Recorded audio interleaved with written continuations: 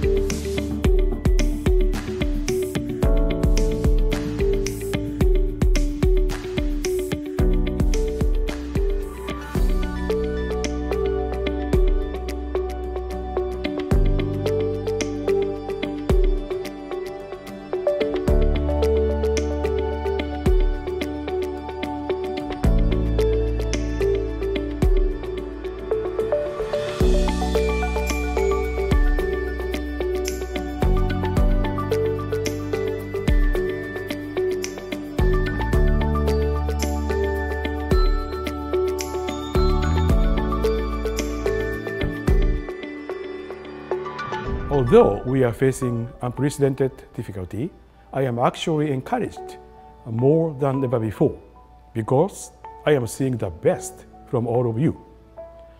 I have nothing but profound ad admiration for your professionalism, dedication, and abilities. The work each of you is doing every day is indispensable for ADB to continue our support to our clients.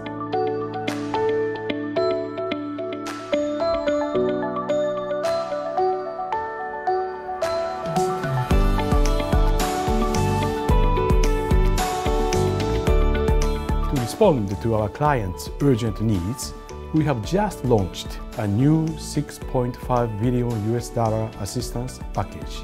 We are determined to combat the pandemic, to protect the poor, the vulnerable, and wider populations across the region, and to ensure the economies of our members will rebound as swiftly as possible.